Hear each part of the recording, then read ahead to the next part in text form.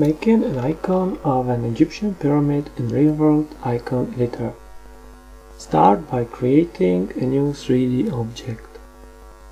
Insert a rounded box, then change its color to orange or yellow. It should resemble a single sandstone block. Set the specular color to black. Now resize the stone block. The goal is to set the coordinates of the corner to 0.5, 0.35 and 0.5 units.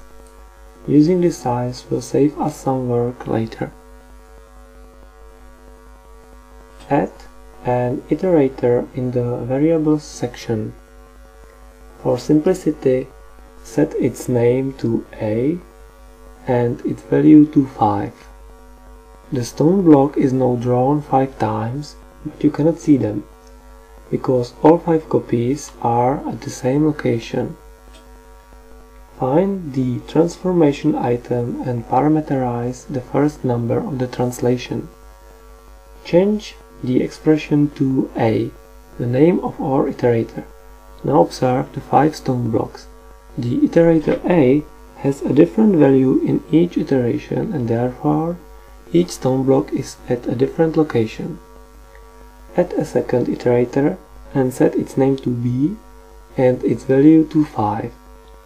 Now parameterize the third number, the one controlling the z coordinate, the blue one.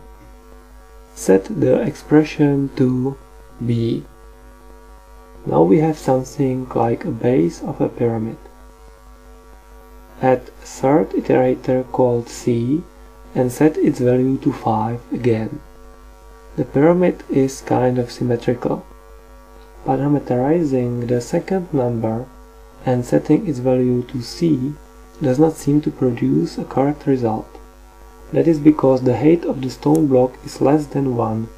We will need to multiply the value of c by the height of the stone block and that is 0.7.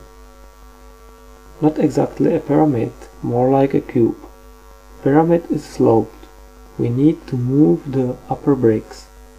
Change the first expression to a plus c times 0.5. Do the same with the next expression. Instead of b, use b plus c times 0.5.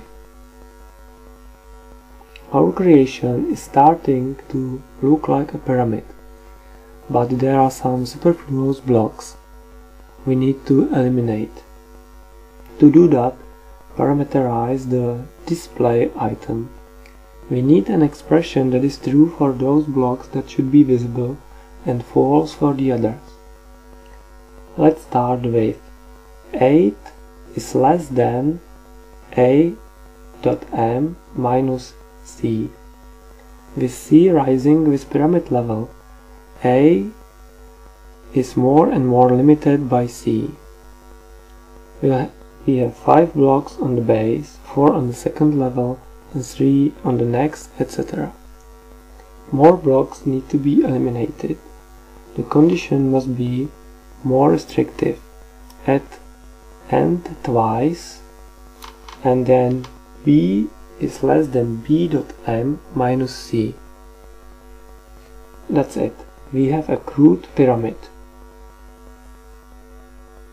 Save the 3D object to a file called pyramid.u3d.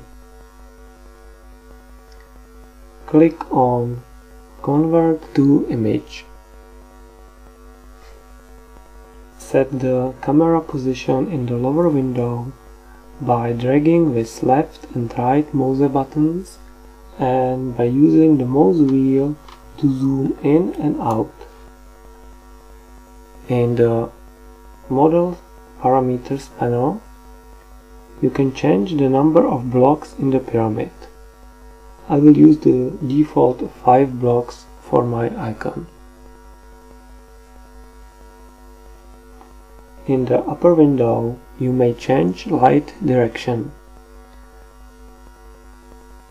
increase size of the image for smoother large icon and then click on create icon from snapshot. Click OK and then again OK.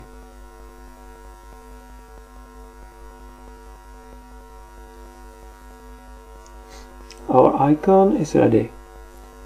It includes all the image sizes and color depths of a proper icon in Windows Vista or Windows 7.